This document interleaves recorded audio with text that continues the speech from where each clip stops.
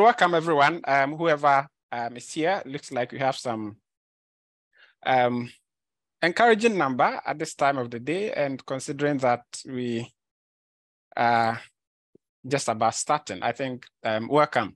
Um, so today we are going to have a very interesting conversation around LGBTQ rights, specifically targeting the transgender community and um, some of their rights that uh, have been trampled upon in many jurisdictions. But in particular, in, the, in today's conversation, um, we are going to talk about you know um, legal systems that have seen radical um, you know changes, some radical um, rulings um, in favor of uh, the LGBT community. Um, and, and today our speaker is going to speak about a, a particular case study which will be discussed um, and hopefully, and I'm looking forward to that conversation.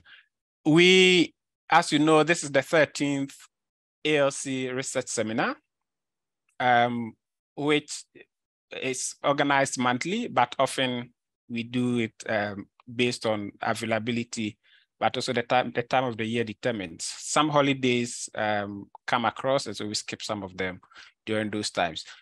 Today is the 13th, and luckily we have um, a very, very prolific gender rights, human rights activist um, to speak to us on a theme um, around um, prosecution of trans femicide in Honduras. And she's gonna speak about Vicky as a case study. Uh, before we go into that, um, we will have a few, about 30 minutes of presentation. Um, there'll be a presenter, there'll be a discussant, and then you have an opportunity to ask questions. Um, and please feel free to drop in your questions into the text box when the conversation is going. Um, you can also drop your questions to the Q&A box and I'll read them out for you. If for any reason anyone wants to speak themselves, feel free to let us know. Um, text, uh, type it or raise your hand and I'll give you the opportunity to ask the questions yourself. Um, so I would quickly introduce our speaker, um, who is coming to speak about that Vicky um, groundbreaking ruling um, around trans rights in Honduras. Now, Gloriana, Dr. Gloriana um, Rodriguez Alvarez is a lecturer at African Leadership Center, King's College London. Um, so her academic background includes uh, an LLB in law, a master's in human rights and humanities, and a PhD in Latin American studies from the National University of Costa Rica. Um, she worked as a congressional aide for the president of the Commission on Narco Trafficking and Security in Costa Rica. In addition, she has worked for NGOs in Central America um, on programs related to human security, prison reforms, LGBTQ rights, and the protection of indigenous people within the context of plural legalism. This promises to be exciting, therefore, because of her background, but also her experience um, in the space of active activism when she finishes, and I'll, can you say hi, Gloriana, so people can see you on the screen before I move on to introduce Vanessa? Hi, everyone. Fantastic, thank you. And then when she's done, um, Wadeza uh, Rukato, uh, who is a principal analyst at Sofala Partners and an ALC alumna, would respond as a discussant and give her reflections on the presentation. Now, Wadeza, Wadeza Rukato is a researcher and analyst working in private sector-led development focused on Africa. Outside of her job, she researches personal projects and thinks about many things, some of which include emergent LGBTQ activism and queer resistance in Africa. Um, she focuses on youth agency in African politics and many other um, contributions of young Africans um, to peace on the continent. She's an alumnus of the ALC Peace and Security and Development Fellowship, and she's based in London now. Can you say hi, Wadeza, so people can see you? Hi, everyone. Thanks for Fantastic. joining. Fantastic. Thank you. So um, I'll hand over to you then, um, Gloriana, to speak to us um, about what you call in the name of Vicky, prosecuting trans femicide in Honduras. So we are yours now. Thank you. Thank you very much for that introduction, Clement.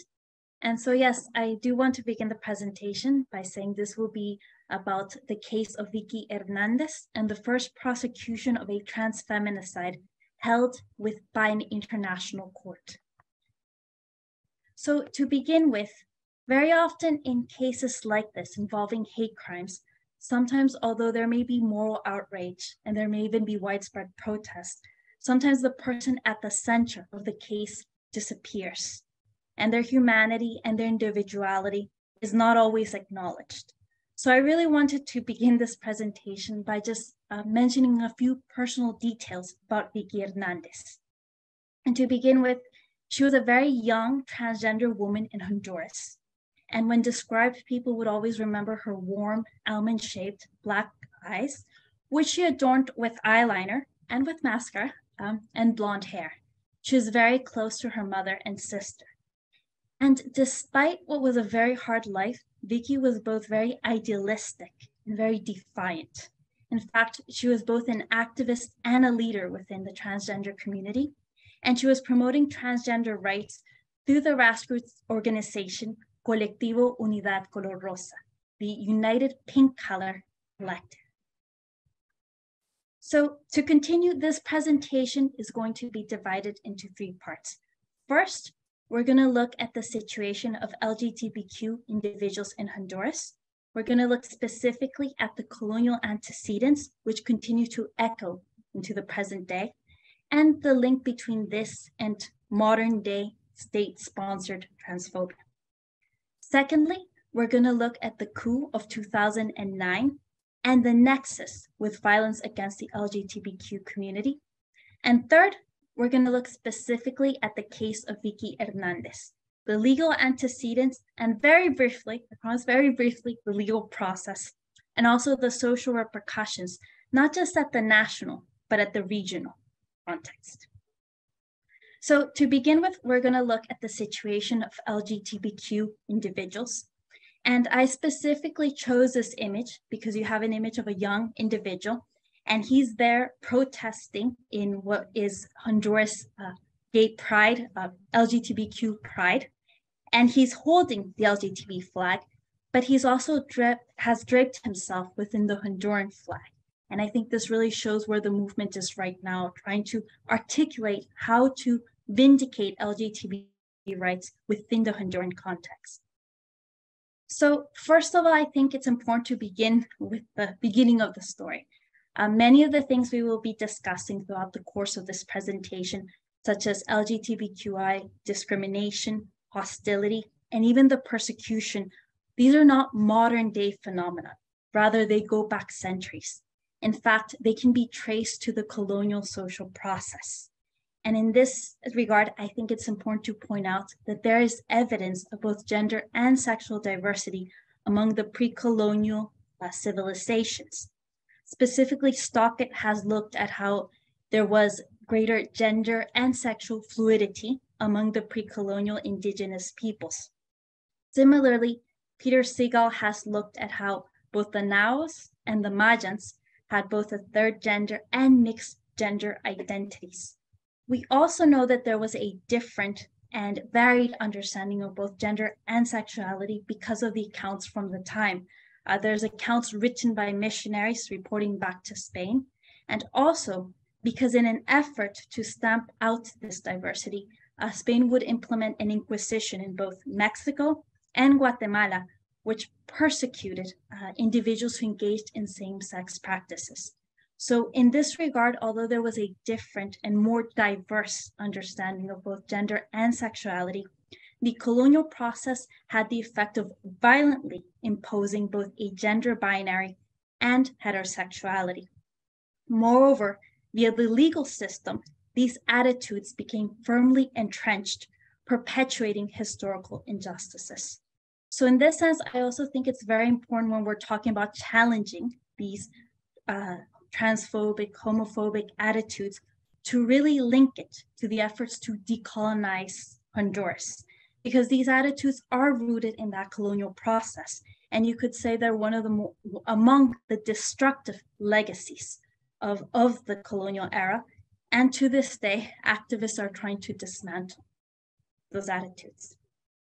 So, as I mentioned previously, uh, many of these attitudes are one of the destructive and harmful legacies of colonialism, and they manifest in today's Honduras through state-sponsored transphobia. And this is because those discriminatory, that hostility, and even that persecution became embedded within the social, the political, and the legal sphere. As such, even the state itself upholds many of these discriminatory attitudes. And I should add that FAREA uh, defines transphobia specifically as the othering of transgender, gender diverse, and other gender dissidents. And as such, it has the effect of legitimizing violence against anyone who exists beyond the gender binary. And this can be expressed in several ways. Two very clear examples in the context of Honduras would be police brutality against transgender individuals, which is frequent. And another example would be the legal erasure of transgender individuals. Previous to this ruling, there was no law that recognized the existence of transgender individuals. And I should point out that for the purposes of this presentation, I am focusing on Honduras, but this is by no means isolated to Honduras. In fact, it's a regional issue. According to the Trans Murder Monitoring Project, 82% of all documented murders of transgender individuals in the world uh, took place in Central and South America. So this is a very urgent issue. It is an issue that's written not just in blood, but it's across cemeteries. So this brings us to the second part of the presentation, the coup. And I must add what the coup entailed. This is the coup of 2009. So what caused it and what entailed it is still the subject of heated debate, still the topic of contention. Um, that being said, the, Lat- the Inter-American Commission for Human Rights, the European Union, and other Latin American countries all do seem to agree there is a consensus that it was a military coup. So roughly, uh, if we go by the facts that people agree on, on at 5 a.m. on June 28, 2009, the military stormed the presidential palace. They took the then sitting president, uh, Manuel Zelaya, they put him on a military aircraft, and they forcibly sent him into exile. What ensued was generalized chaos and military repression. And this is an image that was taken around 9 a.m. later that day. So the coup began at 5 a.m. This is around 9 a.m.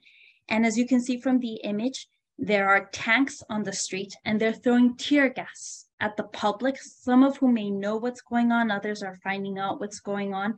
But you basically have the military going out into the public. And I should add that although there was extensive military repression, uh, the Honduran public by, was by no means passive, especially uh, Zelaya's supporters. So I chose this image because to me it remains one of the most compelling images uh, from that period. And what you see right there is uh, the woman with the blue shirt is one of Zelaya's supporters, and she's protesting a military official who has a gun uh, pointed directly at her face. So there was remarkable bravery, and there was a great deal of resistance. That being said, there was also certain an element of paradox to the coup, because in the days that followed, in the months that followed, there was widespread mil- a military and police presence. That being said, the increased presence of security forces did not entail security for all sectors of society. Uh, in fact, for some social sectors, it had the opposite effect. And the heightened presence of security forces, in fact, resulted in extreme insecurity. And one of the social sectors who were uh, unsafe, made more unsafe by the increased presence of the security forces, would be the LGBTQ community. And in the aftermath of the coup, they were profoundly affected. In fact, according to Cattrachas, and this is an NGO based in Honduras, which is dedicated to both promoting and defending LGBTQ rights, just within the first month of the coup, 15 trans feminicides occurred.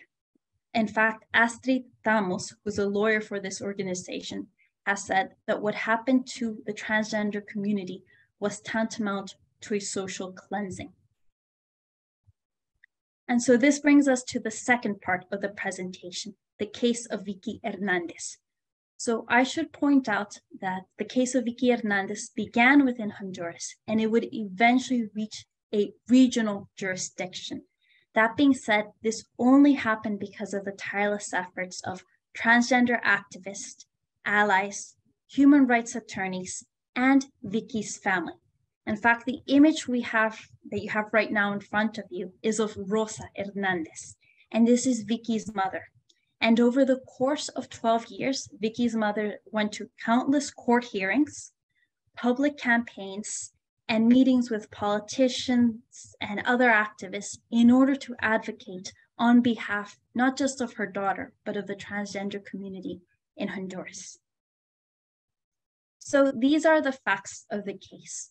On the 28th of June 2009 in the evening, bear in mind the coup had begun at 5 a.m. that morning. So around 6 p.m. at night in the evening, Vicky Hernandez, Alicia, and Michelle Torres were all working in the streets. And they were all working in the informal economy. So they were uh, dependent on what work they were able to do on a day to day basis. A strong police presence and a strong military presence patrolled the streets. And Vicky, Fergie, and Michelle were all spotted by a police unit that tried to arrest them. Bear in mind, these three individuals were all transgender women and as such, they had most likely been subjected to police harassment and police brutality previous to this day. Um, it's worth noting that Red La Trans did a region wide survey just focusing on police brutality and the transgender community. And they asked one question, you know, have you ever been subjected to police brutality? And it should be noted that depending on the country, anywhere from 80 to 90% of transgender individuals stated that they had, in fact, been subjected to police brutality. So these three women, the moment they spotted the police unit, they ran in opposite directions, which was a strategy frequently used by the transgender individuals in, in Honduras when they were targeted by the police officers. Now, the next day, Vicky was found dead she was merely 26 years old. One month later, Fergie was killed in 2011. Michelle was also killed. So, in response to the targeting of transgender women, such as Vicky, Fergie, and Michelle, activists in Latin America created the term transfeminicide.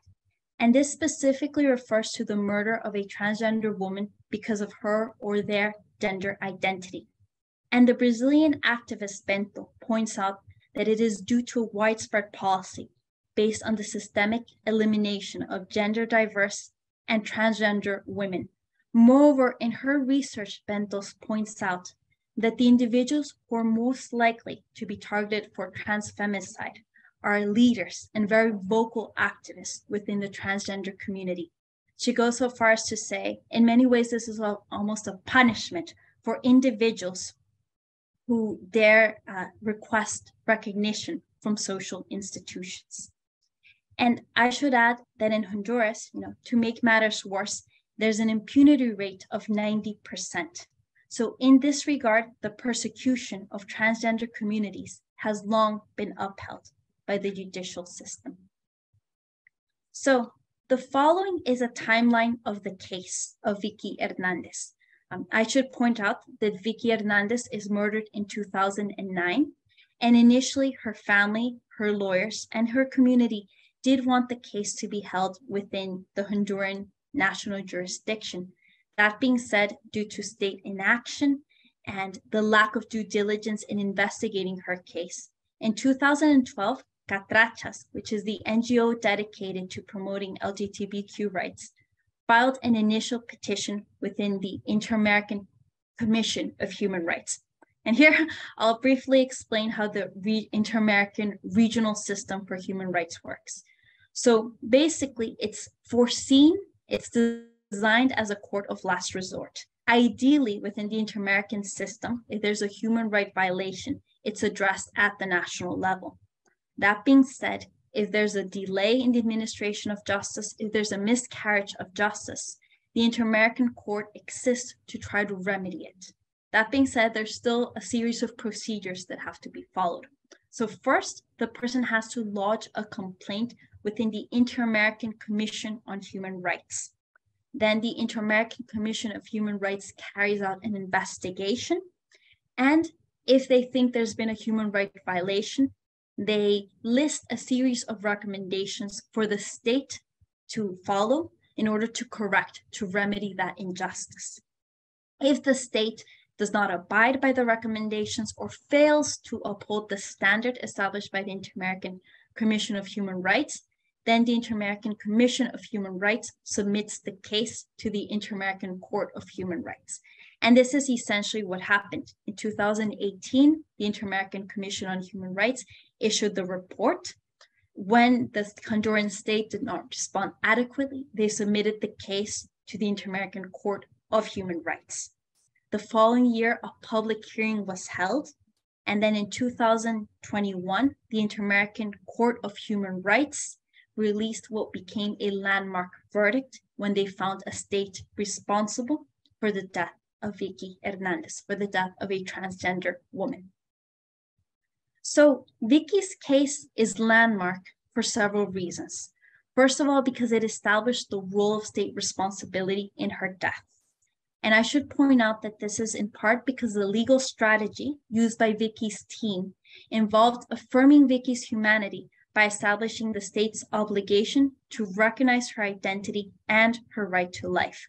I should point out um, the legal obligation to recognize her identity had procedural consequences. Um, during the trial held within the national jurisdiction, Vicky had been misgendered. She had often been referred to by different names, and so that was one thing that her team said, you know, no, this can't be done. If someone has said they're transgender, we have to respect their gender identity. Secondly, uh, her right to life is also because the state didn't act with due diligence, both when investigating the case and when prosecuting the case. Now, establishing state responsibility for Vicky's death was also fundamental because both her team and activists wanted to establish that there was a prevalence of institutional transphobia. One of the things that they were adamant was in establishing that this was not an isolated case. In fact, they wanted to demonstrate that what happened to Vicky happened within a larger pattern of violence against transgender and gender diverse individuals. Now, this case was also landmark because it established that transgender women are women.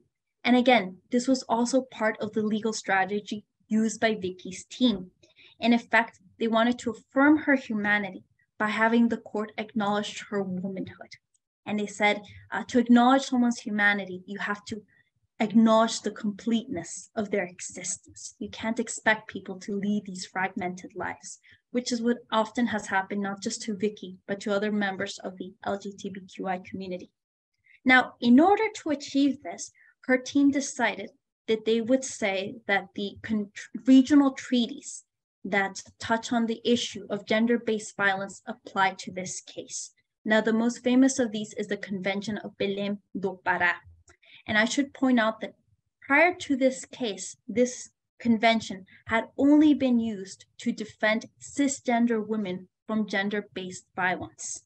So Vicky's team argued that Vicky's death happened within a framework of gender-based violence because she was targeted because of her because of her gender identity. And on that note, the court agreed with her, with her lawyer's argument, and they said yes, the Convention of Belém do Pará applies because the violence against transgender individuals is based on their gender identity, and as such, it constitutes gender-based violence. And what is equally important is that in the verdict, the court established that the Honduran state had violated the Convention of Belém do Pará by not protecting Vicky from gender-based violence. So overall, this is a landmark sentence amidst a context of relentless structural violence going back centuries. And I should highlight, it's not impossible to emphasize this enough, that it is an achievement earned through the perseverance by transgender activists, by lawyers, allies, and Vicky's family. That being said, I want to emphasize that this is not the end of the story. It is not even the beginning of the story of transgender and gender diverse individuals in Honduras. As we've seen from this presentation, there's documented, it has been documented that transgender and gender diverse individuals have existed for centuries. Equally worrying is the fact that transphobia, homophobia, and some of these discriminatory attitudes also go back centuries. They're one of the destructive legacies of colonialism. So in this regard, what happened right now is neither the beginning nor the end of the story of transgender and gender diverse individuals. In many ways, this verdict, what it is a new chapter in the story of gender diverse and transgender individuals. And what it signals is the beginning of accountability within the state context. That being said, the fight is far from over.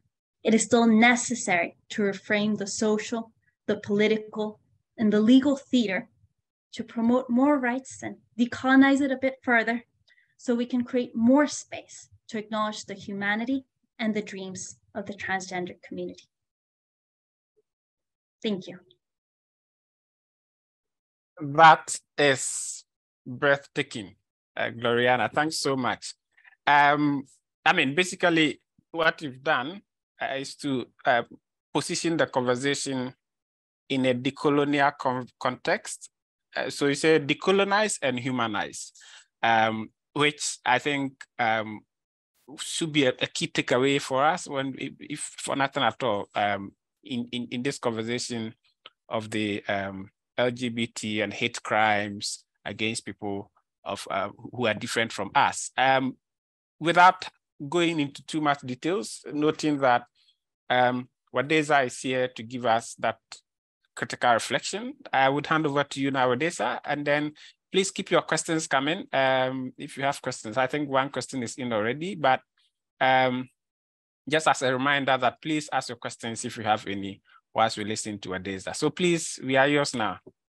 Thank you so much, Clement. Um, and thank you so much, Gloriana. Um, it was, yeah, real, I think, joy and as Clement said, breathtaking to read um, the paper that you co-authored and to learn of, of Vicky's story and, and this case, which I had not known about before and yeah, felt just really, really seminal. Um, I'm going to read just the last line of the abstract um, again, because when I, when I read the paper the first time, I found it really striking.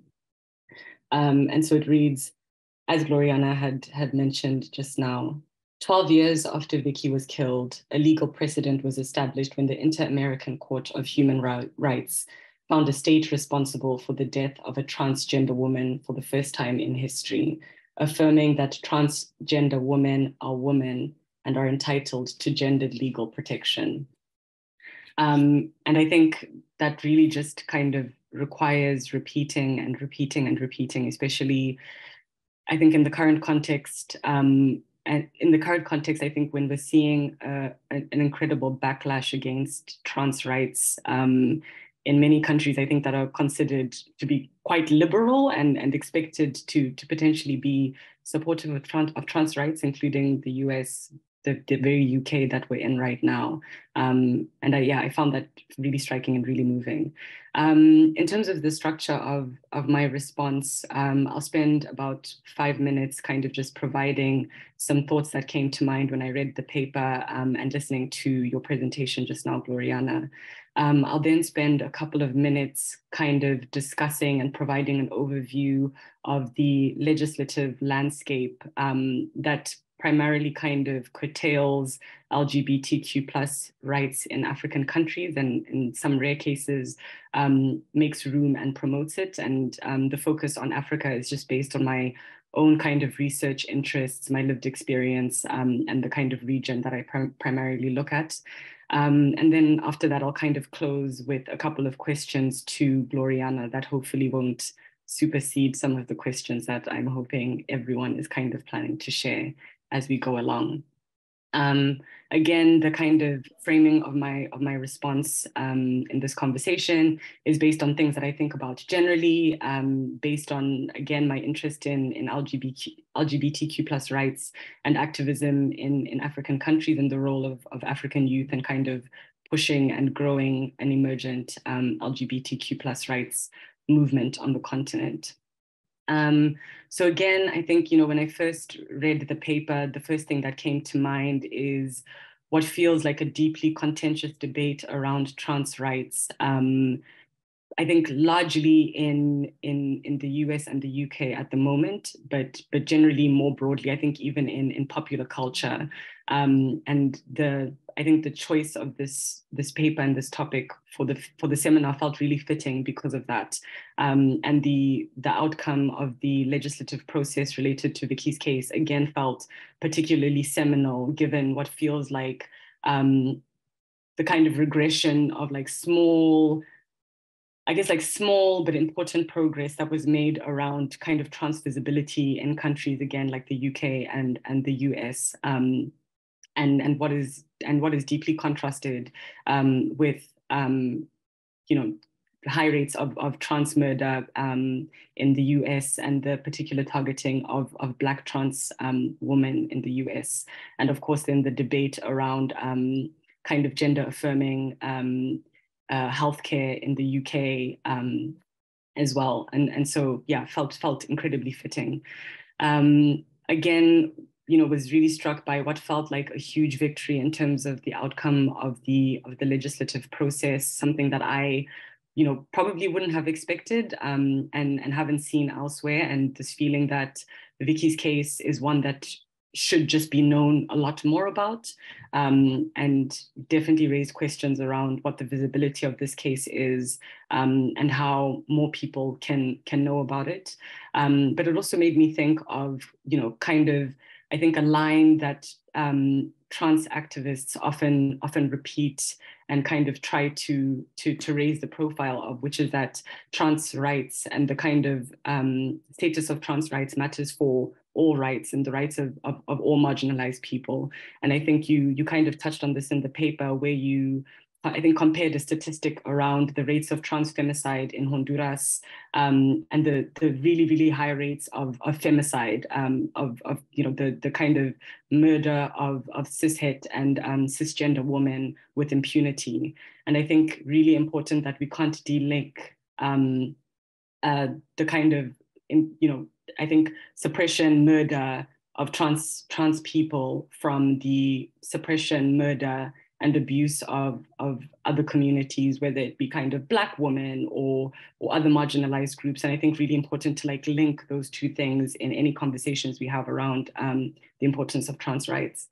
Um, I think also in your paper, you mentioned that at some point the, the ruling was kind of endorsed and supported by the, the, the president in Honduras.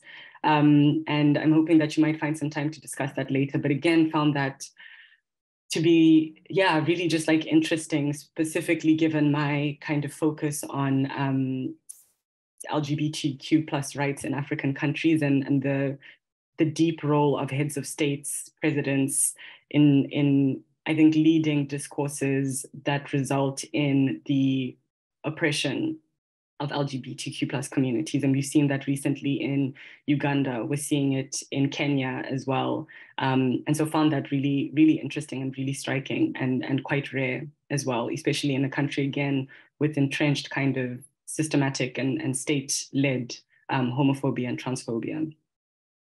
Um, moving into kind of the you know the the offering on on my part in this discussion what it will really focus on is the status of um, lgbtq plus rights and legislation in african countries really just kind of providing an overview of that um, linking it to the colonial legacies that uh, gloriana touched on in her discussion. Um, i'll then kind of end with um, or rather move into a, a reflection around uh, questions of visibility, which I think um, Gloriana touches on as well in the paper, um, kind of linking questions around visibility to the erasure of um, gender non-conforming people um, through the colonial kind of lawmaking process, but also um, I think the ways that visibility or invisibility might be co-opted by LGBTQ plus communities as a kind of survival tactic and kind of thinking around those tensions.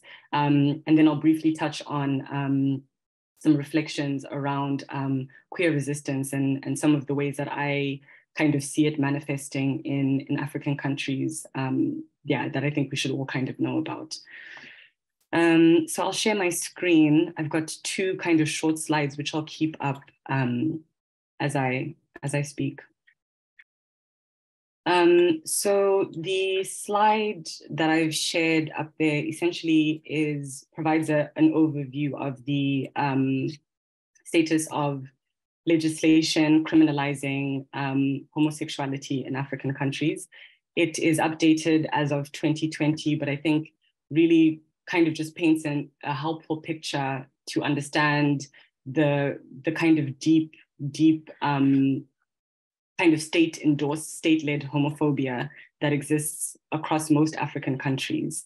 Um, I think in terms of, you know, in terms of thinking around where this comes from, as, as Gloriana mentioned, um, there, there's a deep kind of colonial history that um, informs uh, homosexuality, um, rather homophobia um, in African countries. The British in particular were notorious for introducing laws um, that um, kind of criminalized what they called carnal intercourse against the order of nature with any man, woman, or animal. And really, this was kind of um, the introduction of laws that punished um, consensual sex amongst same consensual sex, same sex, consensual um, sexual relations amongst um, um, adults of the same sex, often with either death or imprisonment. And we see that really carrying through into a lot of the laws that still exist in African countries, the kind of emergence into a post independence era um, in the absence of questioning these laws, their relevance, and um,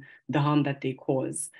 Um, and really, I think what we see across a number of, of African countries is that the, the laws criminalizing homosexuality, um, gender queerness, really reflect the Judeo Christian colonial values that were introduced at the onset of colonialism, which continue to define how um, LGBTQ plus communities in a number of countries can kind of exist um, and how the, the law treats them in terms of a kind of overview of, in terms of thinking about the role of the state in either curtailing or providing room for LGBTQ plus rights in African countries, I wanted to read um, two, two extracts. So one is from a book called Sexuality and Social Justice in Africa. This is what the cover looks like. Um, it's written by a historian called Marc Epprecht. Um, I want to disclaim that this is not my kind of choice for, for reading on, on kind of African, you know, the, the status and, and lives and, and rights of African um, LGBTQ plus communities. Um, I think there's more compelling work that's been produced by uh, queer Africans themselves and, and African um, scholars. But I think um, the line that I'm going to read is helpful for kind of just contextualizing uh, the current status quo. Um, and so at the start of a chapter called Sex and the State, um, Epprecht writes, for most African LGBTQ plus people today, the state is an enemy. Its police harass and extort from them. Its media slanders them its institutions block their attempts to organize, and its politicians organize vigilantism against them. Yet the African state will be important to challenging cultural attitudes and facilitating the, the achievement of sexual, sexual rights and gender, gender justice.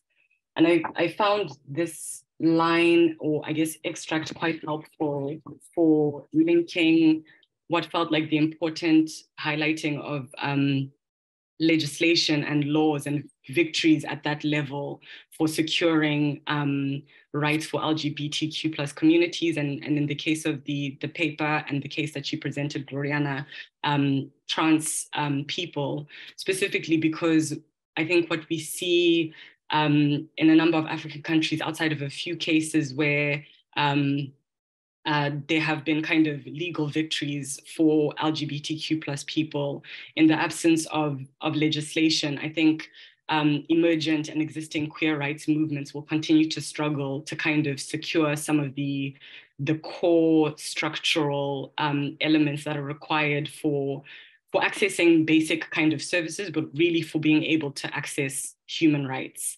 Um, and I think the case of Vicky is really, really important for for demonstrating the fact that alongside you know the, the power of activist movements there is a role that the state plays in either institutionalizing homophobia transphobia queerphobia.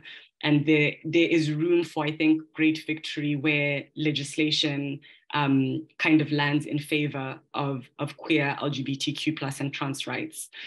Um, again kind of continuing on this overview of, of the status of, of uh, LGBTQ plus rights on the continent. I think South Africa remains a kind of seminal case where um, LGBTQ plus rights are enshrined in the constitution. And since 2006, um, uh, marriage, you know, I guess gay marriage, queer marriage was was um, allowed.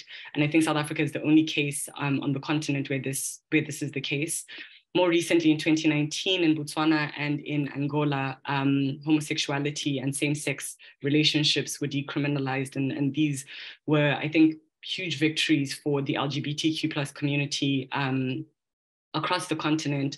But at the same time, we're seeing, I think, quite stark regressions in um, LGBTQ plus rights, specifically in countries such as Ghana, which is in the process of considering a really draconian, deeply kind of oppressive um, anti-homosexuality law, as well as Uganda, which in the last kind of couple of months has introduced a law that is kind of in the parliamentary review process um, that seeks to also criminalize um, uh, same-sex relations and homosexuality.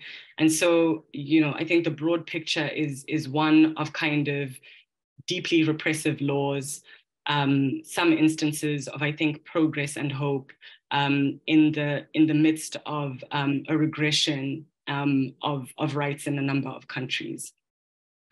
I now want to move on to kind of discussing questions or reflections around visibility and the tensions that it provides um, or that, that, it, that it raises. Um, and to do this, I kind of want to raise um, a recent case in Kenya um, where uh, the Supreme Court um, issued a ruling which allowed the National Gay and Lesbian Human Rights Commission to register as an NGO following a previous ban on the registration of this um, commission. Um, when the verdict was handed down, this was a massive victory for the LGBTQ plus community in Kenya um, for a number of reasons. But what we saw quite soon after that was that the visibility that um, the, the court ruling then kind of resulted in led to a backlash against the LGBTQ plus community. And this kind of, you know, emerged at the, the most senior level in government where the president um, kind of said, you know, we accept the court's ruling, but we don't have to agree with it. A number of um, Kenyan politicians and political leaders, both on social media and in public, um, denounced the LGBTQ plus community. And I think what this case really highlighted was, you know, this idea that alongside this massive legal victory for the LGBTQ plus community came um, I guess what was quite like a dangerous backlash against the community. And I think really highlighted the tensions that exist around um, the importance of, of progress that visit legal progress that visibilizes um, the LGBTQ plus community in Kenya and the dangers um, that can kind of emerge from that as well. And I think really highlights the fact that progress will be tensioned at all moments. Things that will be victories might also emerge as immediate risks to the community. And I think, yeah, is is just something to kind of keep in mind as as a number of, of LGBTQ plus communities across the continent continue to push for rights and legally enshrined rights. I think also around visibility, interesting questions have have kind of emerged from my own conversations with um, you know fellow Africans around um, queerness in, in African countries. And like you said, uh, Gloriana, in the same same same cases as Honduras, where uh, queerness existed before colonialism and was part of the ways that communities lived and kind of you know, were in relation to one another. That is the same for, for African societies and African communities. And what we see kind of post this, you know, post the kind of interaction of colonialism with African countries is that people feel sometimes feel quite comfortable being, you know, admitting that um, queerness is has been part of their communities forever, but there's on, often a kind of disclaimer that says as long as you are quiet, as long as you are not loud, as long as you're not kind of flaunting your queerness, it can work. People saying, you know, I've got a, I've got a cousin who I grew up with who we always knew was queer, but it was acceptable because he was not too loud about it. Um, and so alongside that kind of visibility question as it relates to the kind of legislative um, piece. I think there are also interesting questions around visibility, visibility, invisibility um, as a kind of survival tactic, um, the ability to survive because of being invisible um, versus the kind of fight for visibility that we see in the kind of fight for LGBTQ plus rights more broadly. Um, and then to kind of tail off, I wanted to briefly touch on questions around resistance, which I find really, really juicy. And I think um, really want to focus on the ways that uh, African youth are carving out space for kind of building queer rights movements alongside um, other other rights, broader kind of human rights movements. And I think a good example for uh, that illustrated this um, was the End SARS protests, which were you know led by Nigerian youth um, in protest against kind of wide-ranging impunity by the um, uh, I guess SARS. Um, so this kind of police force that would abuse, kill, and and um, I guess you know yeah, abuse and kill Nigerians, often young Nigerians, um, with really the, the kind of consent of the state. Um, and so alongside this movement to have um, this kind of uh, police unit disbanded, we saw young queer Nigerians using the, the, the protests as a platform to advocate for queer rights. Um, and this kind of live protest movement was um, supported by an online movement that um, was, was made visible using hashtags that said queer Nigerian lives matter. If we're talking about all Nigerian lives matter, mattering queer Nigerian lives uh, should be kind of actively considered amongst this. Um, and so I think really interesting things happening in, in Nigeria, in Ghana, in, in Kenya, in in Uganda um, that that demonstrate that as um, governments try to crack down on LGBTQ plus communities, young Africans are equally mobilizing both domestically and across the continent to make sure that their voices are heard. Um, and I think in, in efforts to build um, both domestic and, and regional movements that will um, raise the importance of LGBTQ plus rights um, where this is currently not the case.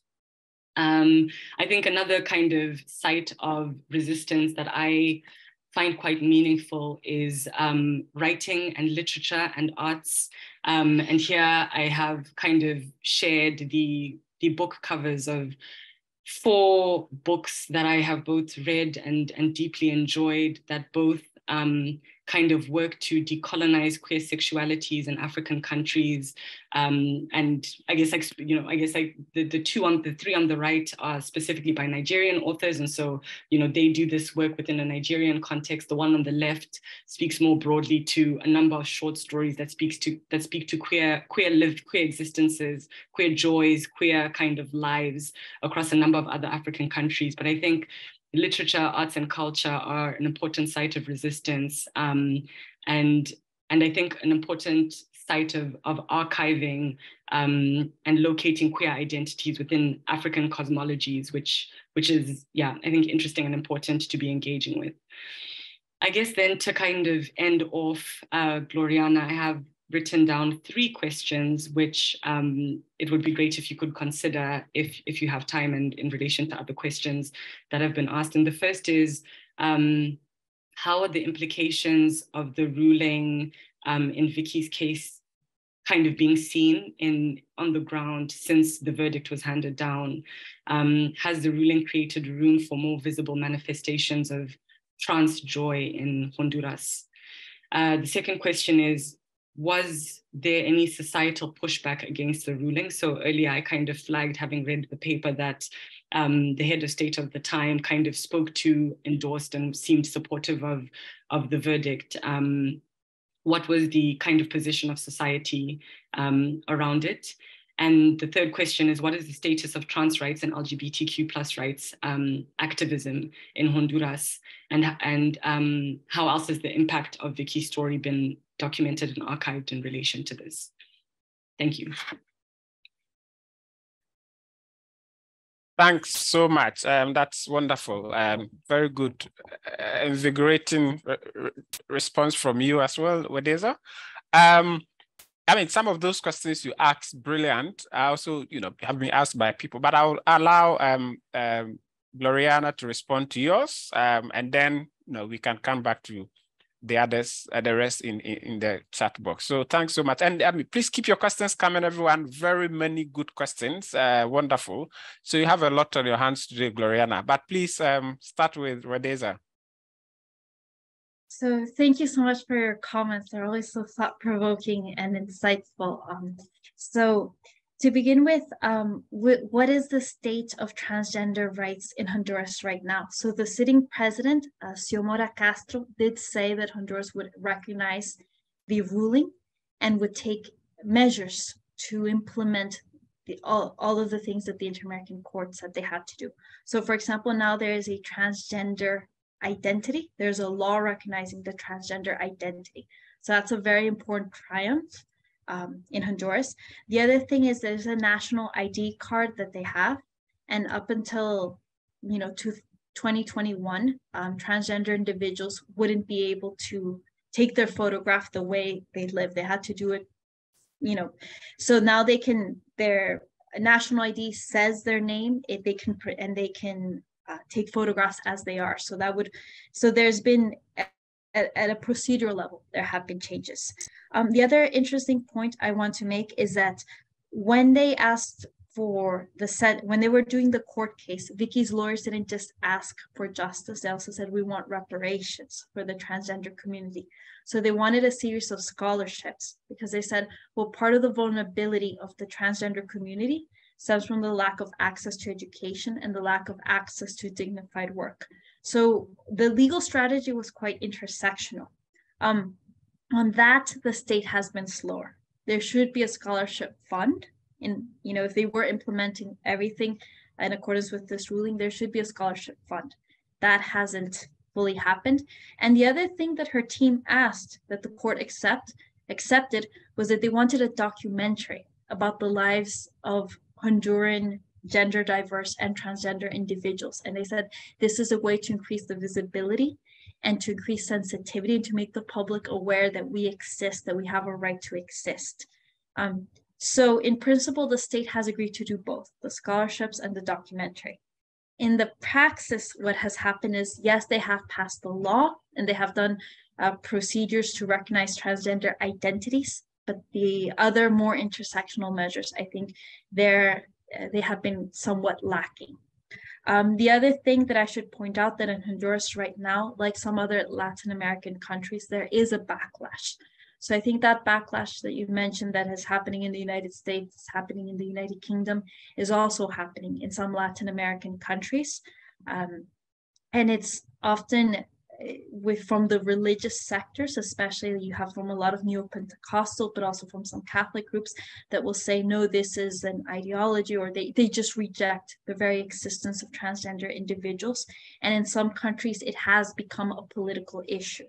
So we have to see what happens in the elections. Uh, Honduras hasn't had elections yet, but we have to see if it becomes an electoral issue. It has been in other countries.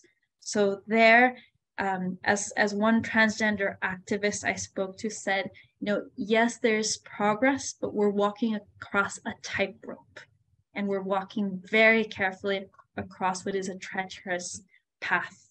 Um, that being said, I think the ruling for the transgender community, not just in Honduras, but across the region, there was a great deal of excitement. And here I should point out that when the Inter-American Court did its ruling, it was binding not just for Honduras, but also for all countries that are signatories of the Convention of San Jose, which recognizes the authority of the Inter-American Court of Human Rights. So right now, all the Latin American countries that have recognized the Inter-American Court of Human Rights should have laws on the books acknowledging transgender identities, establishing procedures so that transgender identities can be recognized that are of no cost to the transgender individual. And there should be scholarships and public awareness campaigns um, that being said, it depends on the country whether or not that has happened. I can tell you, for example, in my own country, we do have a transgender identity law. But for instance, in Guatemala and Nicaragua, that isn't the case. So the picture is is complex and it depends a lot which country we are uh, we we're, we're talking about. Uh, the other point I wanted to say when you talk about when you mentioned transgender joy or basis to celebrate transgender identity. Um, I should point out that one of the things that really struck me is uh, there's this uh, Costa Rican poet who makes a point of saying how if you're from a marginalized identity, sometimes the act of resistance comes by just being beautiful. He always says that. And he always says that um, when when a space is denied to us in this one, in this world, we create imaginary worlds that are governed by beauty and not cruelty. And he goes, and when this world tries to wipe me away, I celebrate, I scream, and I sing in other worlds. So I think that's something that I, I always find it very melodic and very poetic. So I, I just wanted to share that. Yeah. Fabulous. Thanks so much. Um, Wekesa, uh, Wadeza and um, Gloriana for all those um, important reflections. And I think um, did you want to respond at all to anything, Wadeza? No, no. Okay, fabulous. Thank you.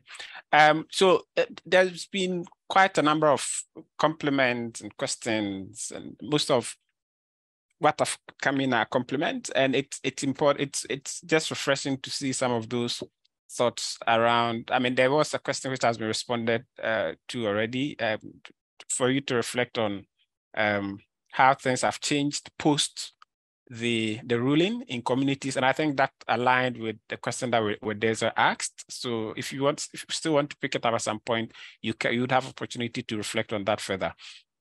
Um, there was also um, some comment around the fact that gay identity existed post pre-colonialism, which you've alluded to already. Um, from Ahmed, he gave example of um, King Mwanga II, um, in Uganda, which is good. It complements the point you made. Um, there were also reflections on how significant, how important this whole conversation is that highlights the, the role that the state can play in destroying, but also building things and also suppressing individual rights. Um, you touched on that. If you want to reflect on that at some point, that's fine. But there are a few questions which I think um, uh, you know, uh, in addition to the compliments you may want to look at. And I'll ask them one by one if that's okay. Um, so you'd have time to respond to them. Um, so um, Munya has criticized the AU. Um, he thinks the AU, for instance, is very lame uh, as a duck, as an institution. And I guess the point he's making is that the setting up of continental court in Africa on human rights might just be another creation of an organ which won't have any power uh, to compel individual uh, states to act. And I guess he's speaking, he's saying this in context of what has happened in, Amer in Latin America, where the transnational institution was able to take up um, this, you know, individual's case. Do you think there's scope for this in Africa, for instance? So I think I would begin by answering that question. Um, the issue with law and with international law included mm -hmm. is that it is never neutral. You know, mm-hmm. I would say this verdict, um, we got this verdict in part because of the composition of the court. And I would say not, this wasn't a unanimous verdict. There was actually a, a very prominent uh, women, a judge who it happens to be a woman and has been a prominent feminist who um, was not, didn't agree, for example, with extending the convention of Belém do Pará uh, to Vicky Hernandez. So even this ruling was contested. There was uh, dissent within the court. And I think I, we can also look at the what's happening now in the United States. The Supreme Court is reaching certain decisions because the composition of the court has changed. So I think my answer to that would be twofold. One, the issue with regional and international jurisdictions is that they require the states to be party to that jurisdiction. For example, the Inter-American Court of Human Rights, um, I can tell you the United States is not party to that specific uh, jurisdiction. It's not party to the, you know, um, Honduras did accept the jurisdiction of that court uh, my country, Costa Rica, has accepted the jurisdiction of that court. So that's one issue that sometimes the countries that are the, you could say, um, where there are, there may be human rights violations, but they don't necessarily accept the jurisdiction. So that's the first obstacle. And then the second obstacle is that even when there's a verdict, you know, even when the Inter-American Court says there was a human rights violation in this case, the president or the state doesn't always accept the verdict. Honduras happens to have its first female president right now. So Xiomara Castro happens to be the first woman who was elected president in Honduras. Um, she is also, this is the other tidbit, she's also the wife of Manuel Zelaya. So the president that was overthrown in the coup, um, 10 years later, his wife ran for the presidency and she won. So you can say there's a lot of factors, you know, psychological factors, ideological factors that went that made her more willing to accept this very progressive ruling. Um, and that's not always the case. So whether we're talking about Latin America or Africa or Europe, which also has a, a human rights tribunal, um, states don't always agree. I can think of the European Tribunal of Human Rights that has had verdicts uh, that are very that um, acknowledge the rights of refugees, and yet many European member states don't uphold the human rights standard. So I would say it's a case by case basis. I think regional and international jurisdictions are important because they can be an instrument for activists to try to promote their rights in some cases. Again, that being said, it varies uh, depending on the context. Mm. So I would say that if you're an activist, and I guess I put myself in that uh, within that group, um, you have an arsenal and you're seeing, okay, what works in this context? Is it the regional court? Is it the national court? Is it a public campaign? Is it poetry? Is it protesting out in the street? Or is it maybe hiding? Because right now, maybe that's what's best. And I think that it's not an answer I can give. It's going to be very context specific. Mm, mm-hmm. Yeah, yeah that, that that's very good reflection there. And I mean, some um, yeah, I mean, they, they talk about continental, regional, and then uh, national legal systems is very important. And I'm happy that you've tried to, you know, bring discuss the pros and cons of each of them. Um, there was a question about COVID-19 and whether you think that uh, in spite of the progress that was made in Honduras, you know, in the case of Vicky, whether COVID added anything at all um, to that uh, momentum in terms of um, shifting allegiances, making things better, or regressing issues in Honduras? COVID-19, did it make any impact at all and how? Well, I think to answer that question, I, I would say it's very important to take an intersectional lens when analyzing things like transgender rights or women's rights, you know, um, and it's never just about gender, it's always gender, class, race. So, in that sense, what COVID did was it, it made it much harder for the community. Uh, most transgender individuals work in the informal economy. It depends, you know, what part they're from, what type of work they do, and they don't have the same family support that maybe other individuals would. So for COVID, for a lot of people in Latin America, especially those who may have been working in the informal sector, they could have relied on the family to help them out. Uh, this wasn't necessarily an option for the transgender community. So I think for it again, depending what country we're in, uh, the outcome varied, but it has been a very tough time because again, I, here I'm talking about uh, the right to life, the right to identity, but I think we also have to bear in mind human rights include social and economic rights. And on that note, life has become very tough for transgender individuals. Um, the countries were affected by COVID because of the for economic reasons, a lot of countries in Latin America. And now with the Ukraine, the Russian invasion of Ukraine, that economic hardship, which already existed, um, has been aggravated. Fabulous. Okay, thanks. Um, yeah, that, just in relation to that, I, I think that um, the intersectionality of identity comes into the question, and someone is asking you whether um, race and class have any impact at all on uh, trans transfemicide um, or hatred towards LGBT people.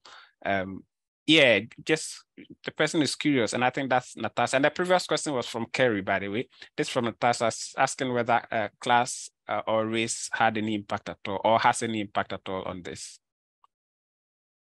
I think one of the things, um, because you know, I have worked with this community uh, in both in in several uh, Central American countries. So off the top of my head, I would say that yes, you can never separate transgender identity from the rest of the social picture from identities related to race, uh, class, gender, and even a religious affiliation can play a role, migration status as well.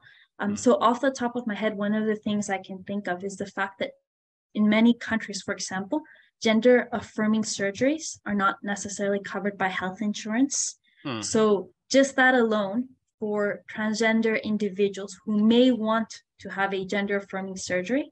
Uh, many, some of them have endangered their lives because they don't go to doctors that are specialized. They may go to, you know, they may go to third parties. So there's that, you know, so some of them endanger their lives. And this is specifically um, transgender individuals who don't have access, who can't just pay it out of pocket. So that's one way it changes. Um, the other thing is access to education. If you're middle class or middle upper class, the whole paradigm changes um, transgender individuals are going to face some of the same challenges that other working class individuals would face. So they don't, they might not have access to the best education, they might not have access to the best work, to dignified work. So in that sense, that what their identity as a trans person exacerbates these other social vulnerabilities. Um, I think it is worth noting that Vicky Hernandez herself came from a working class background and she was working in the informal sector and her mother was as well. So, you know, she, she was targeted for trans feminicide because she was out in the street. You know, if she had had access to education and access to dignified work, uh, white collar work, she might have been working for, from home the way many professionals were, and she wouldn't have had to endanger her life to make, you know, a bit of money so she could eat that day. So I would say trans femicide is very much not just a gender issue, it's a class issue and it's a race issue as well. Um, throughout this presentation, I even said, I made a point of saying transgender and gender diverse. And that's because Latin America, Honduras is a very diverse country. You know, you have uh, Latin Americans who identify as indigenous, and with indigenous, you have several different groups. Uh, you have uh, Hondurans who identify as Black, you have Hondurans who identify as white, you have Hondurans who identify as Asians, and Hondurans who identify as mixed. So it's a very racially and ethnic diverse country. Uh, and not all of them use the term transgender. Uh, transgender tends to be more used by urban Honduran individuals. But when you interact with uh, individuals who are from rural areas or who are from in, in indigenous people, some of them actually reject that term because they're like, no, that's very urban or that's very Western. So they'll use gender diverse or gender dissident, or they may have other specific terms. So in that sense, yeah, this can't be separated from race, ethnicity, and class. Fabulous. And really, that's a very good point you touched on in terms of uh, what you know, Suva is calling um, self-naming. Um, so there's a question for both of you about how we define all these things. You know, people call themselves one thing, the state refers to them in another way. And a specific question I would like to read because it's long, but the idea um, is that how does self-naming or identification of trans or LGBT community influence this whole conversation. But I'll read specifically the question. She said, um, I found in the paper quite fascinating the tension or conflict between self-naming or identity of transgender communities versus the naming and assigning of identity by either the state, the rest of society, or even um, in this case, a regional system. What gets lost or distorted in this instance? Um, and so that, that this to you, to both of you. So maybe um, just for you to take your breath, Gloriana, Wadeza, do you want to, Wadeza, do you want to start this, uh, responding to this question? Yes, I can, I can absolutely start.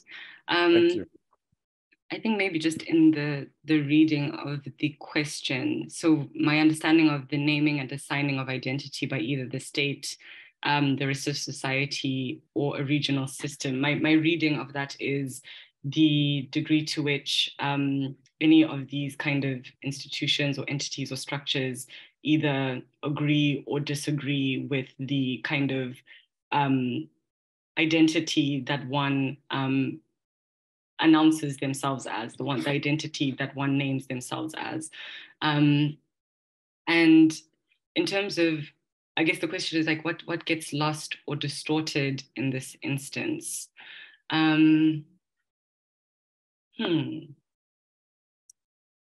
I might need to think about that because my immediate response was going to kind of be to reflect on what might be gained um, where there is a kind of affirmation. Um, and I guess that's kind of what we we learned about in the case of Vicky. And, and the immediate kind of thing that comes to mind is um, the ability to kind of have state structures um, recognize one, you know, a, a trans identity um, enables like what Gloriana said, the ability to kind of exist in physical spaces um, as you are. So to, to go and get your ID photo taken and to not need to um, present as um, different than, than what you are, which I think is, is deeply radical and important. You know, the, the flip side of that is, is I think, you know, quite accessible case is the arrest of trans people um, and their kind of um, holding in um, cells with um, individuals of the opposite gender and the kind of physical risks, uh, the, the kind of stripping of dignity that emerges in cases like that. At a more kind of basic level where there is that kind of affirmation and alignment, I think it you know really enables um, trans people to be able to access basic services, so healthcare, um, you know, education, the ability to apply for a job where you can present as your actual identity on your CV, and none of those things are questioned. Um, the ability to access public spaces like bathrooms, where you can enter a bathroom as a as a trans woman and and um, I guess have the kind of legal protections, even if individuals um, misgender you. And so I think there's there's clearly a, a lot to be gained where state structures reinforce the identities of trans people.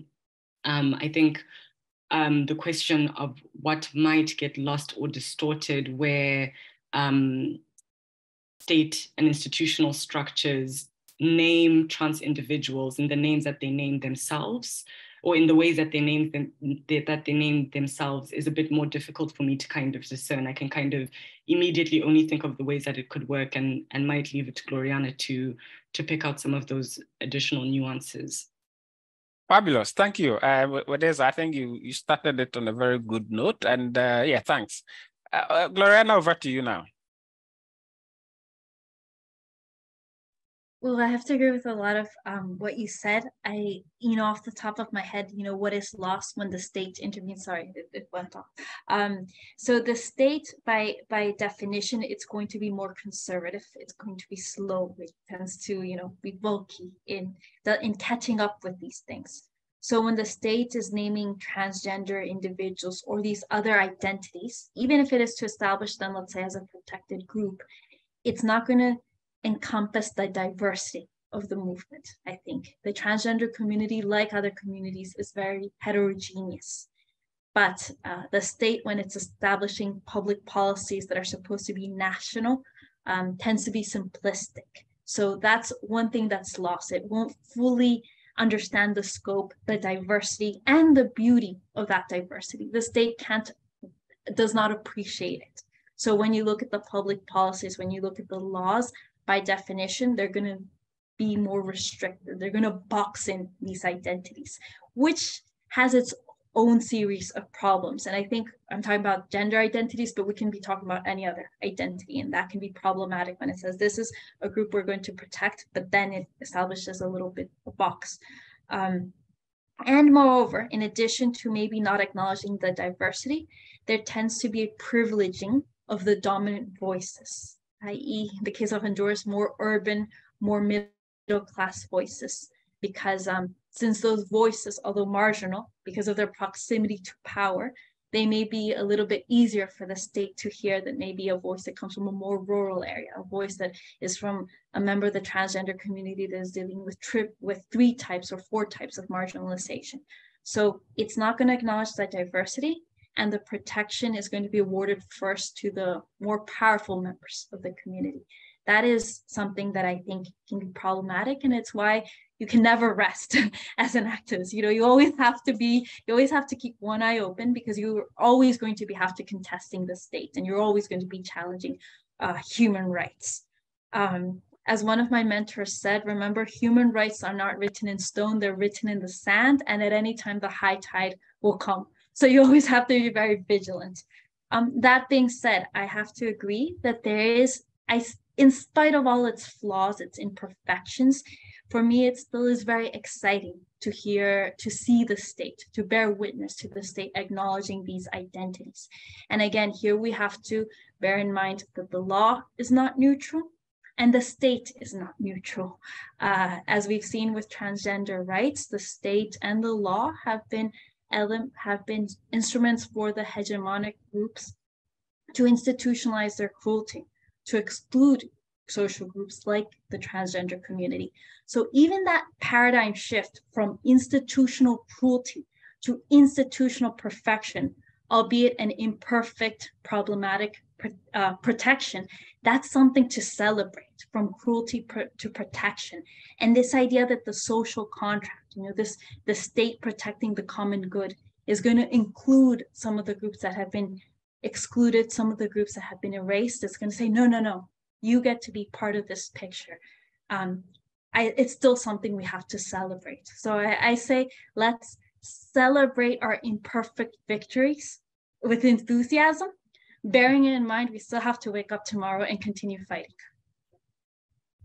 Fabulous. Now, I think all the other comments are very complimentary. Many, many comments from almost everyone. You know, um, Shivai has additional ones, Munya, um, Eka, um, Ahmed, you know, all those, uh, Natasha, everyone.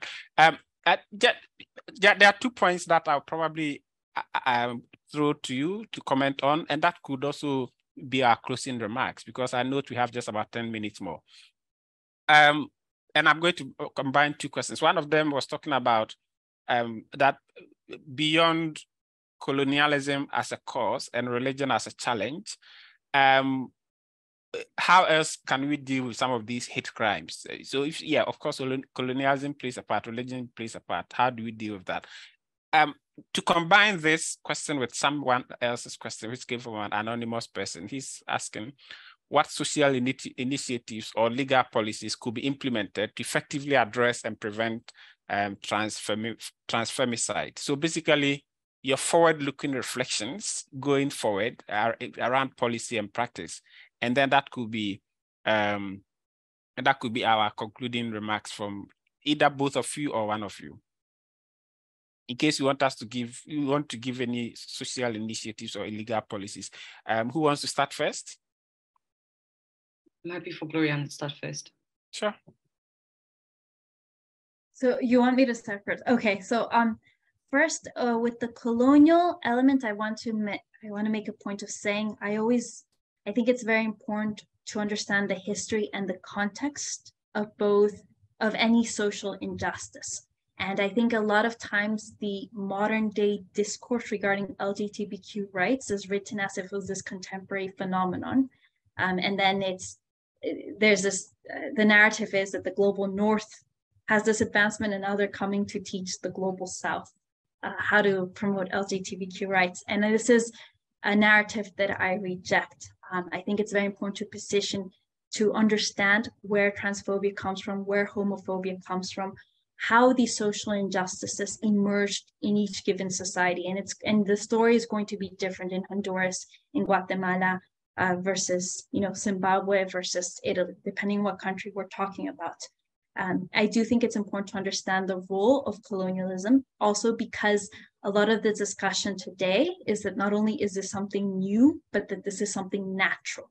So the gender binary is something natural. Heterosexuality is something natural when in reality, both the gender binary and heterosexuality are socially constructed. These are social constructs that have been passed off as acceptable because of a very violent process that happened over centuries. So I think that's why I always make a point of mentioning that like we have to understand the roots of this injustice. Um, and that brings me to the point with social initiatives. Uh, part of it, I think, is understanding the true history of transgender, gender diverse, and the LGBT community more broadly. Understanding that this isn't a new group. These aren't new social actors. These are social actors that have always been with us, that they may have been erased or for their own survival, they may have led clandestine lives over the past few centuries. Um, and the other thing I would say is it is very important to have public policies that both acknowledge uh, these the existence of these communities. And uh, this is something I mentioned in the article. I do think it is important to have hate crimes on the book and to say, you know what, if you if you use certain terms, if you have certain actions, if you target someone because of an identity, that is a hate crime. Um, one of my biggest critiques is that when you look at the legal briefs of the trial of Vicky Hernandez held within the national jurisdiction, her transgender identity wasn't mentioned the fact that she was killed because she was a trans woman wasn't even mentioned. So I think it's very important to not only understand the history of gender diverse, transgender, and LGBTQI individuals, to understand the history of that violence, and then to take measures to address that violence and to punish that violence when it does occur. Um, so yeah, that, that's what I would say. And and sorry, just to end on a more positive note, it's we have to understand that history so that we can write a new chapter, hopefully not one based on violence, but one based on inclusion and celebration. Hmm. Uh, that's fabulous. So understand the history, let's write a new chapter. Uh, let's decolonize, let's humanize. Thank you. Um, Wadeza, do you have any closing comments in response to anything at all or uh, to add up to what uh, uh Gloriana said? Hmm, I think I think mine might just be to again touch on um, the kind of diversity of, of instances of resistance um, and what Gloriana mentioned about joy as a, as a as one of the most compelling forms of resistance, um, and I think both to to include it as as a as a key a, key tool in that act, activist toolbox that Gloriana kind of mentioned, um, amplifying instances and the visibility of um, LGBTQ plus trans joy, um, seeking that out, I think always a reminder that the lives of um, LGBTQ plus and trans people are more than just the kind of ways that the oppression of these um, marginalized and vulnerable groups is visible. Um, and so kind of more, more queer trans joy wherever we can find it. Um, and as a kind of solve to the to the heaviness of the activist pursuit that, as Gloriana mentioned, needs to remain ongoing and will need, yeah, will, will remain ongoing um, and, and really cannot stop. Um, yeah, so those are my, my closing thoughts. Fabulous. Thank you so much. And um, I know we asked for uh, one and a half hours, and that's what we are going to take today. Um, we have four more minutes, so um, I'll use that to just ra ra uh, wrap up, and then we can call it a very, very good and productive day. Um, yeah, obviously, um, this our 13th research seminar has you know highlighted another key um, a key part of uh, social, socio-political ecosystem in, in, in, the global south. And I like the point you made, um, Gloriana, and in, fact, uh, when they said everyone else, that we should look at um, you know, LGBTQ plus community activism, not as um, salvation being brought to the global south by the north, but something that has always been um, with society. It has a natural um, occurrence, and that it's not a new human right being championed by uh, saviors of the north, but you know, part of community. We just need to decolonize that whole concept, and also um, look at the LGBTQ community as hum part complete human beings who, who have identity that's complete, you know, whether male, female, in the middle, anything in between. But at least people should be identified as who they are and want to be. Um, the law could play a part, and I think I cannot overemphasize that point. Um, the state has a role to play. Um, when the state uses its power to trample upon the liberties of individuals, then it's a problem. And that's where transnational institutions could play a part. But like we've said already, that could be in itself a challenge because not all transnational institutions are credible or potent to deal with anything at all. Um, the AU has been cited, but of course, AU has its own advantages and um, disadvantages. But um, yeah, so look, th this has been very enriching and thanks so much, um, Gloriana, for agreeing to, to do this, to share that very insightful paper with us. Um, and thanks very much, with Wadeza, as well, for um, giving that thorough reflection on, on the presentation and adding your own thoughts. Thank you everyone who came today uh, for asking questions, engaging, making contributions and adding, you know, perspectives to the whole conversation, which, which, which I think has enriched the conversation even beyond what we envisaged.